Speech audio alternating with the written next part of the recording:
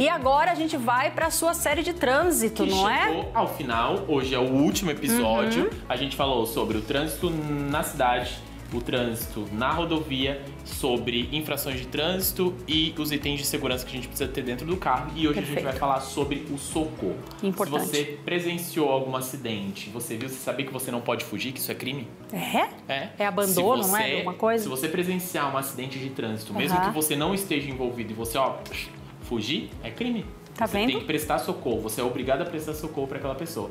E aí você vai ficar sabendo o que você precisa fazer. E o Roda. porquê, roda. E o porquê.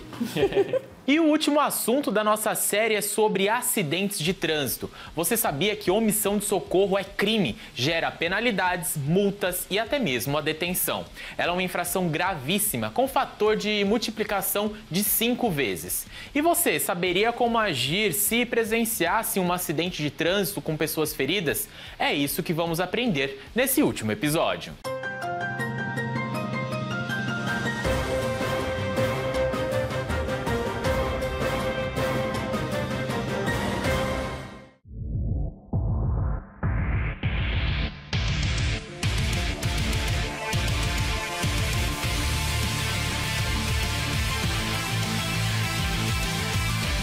Bom, a primeira coisa que é importante a gente fazer, às vezes na, no calor do momento, a gente pode ficar preocupado em, em resolver rápido a situação, mas a primeira coisa que a gente tem que fazer é a nossa segurança. Então, se você presenciou um acidente, é importante que você, de maneira segura, possa prestar o, o atendimento. Então, se for na, na rodovia, se for no trânsito, você estacionar o carro e você ficar seguro e prestar o socorro.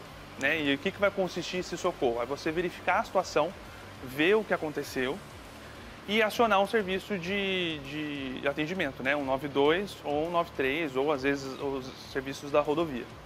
A gente, se fizer essa avaliação, né, você chegou e viu um acidente, você está em segurança, chega próximo e verifica se o paciente está conversando, se está acordado, se está respirando, se você pode chegar perto. Né? Então, verificar se tem fiação elétrica, verificar se tem é, incêndio, se tem vazamento de combustível. Então aí você chegar perto e tentar acessar essa vítima.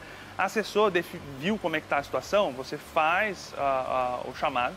E aí a principal questão na hora que você liga para um serviço de urgência é você estar calmo e escutar o atendente, escutar o médico ou o telefonista que estiver falando com você para passar as principais informações. Né? Existe um protocolo que a gente segue para agilizar o atendimento, né? Porque você, como você decidiu, né? Você decidiu prestar o socorro, então você tentar se acalmar e escutar tudo para a gente orientar e fazer certinho o, o que você vai precisar ser feito no momento. O motociclista acaba sempre sendo, às vezes, baixa velocidade, acaba tendo um impacto grande em trauma, em acidente, principalmente a gente fica preocupado com coluna, né? Então, esse paciente a gente vai chegar acessar, ele está consciente, orientado, acalmar ele, falar que o recurso está vindo, que a ambulância está chegando, ficar ali do lado e deixar a cena segura também, né? que isso é o principal. Às vezes, ma- mais importante do que você chegar às vezes tentar tirar alguma coisa, é fazer a sinalização, é, é, é, deixar organizado ali o ambiente para que fique seguro até a ambulância chegar.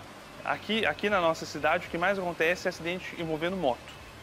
Todo dia, sempre tem, invariavelmente, se você pegar os, os, os chamados, sempre vai ter um acidente envolvendo motocicleta. Esse é o principal acidente que a gente tem na cidade.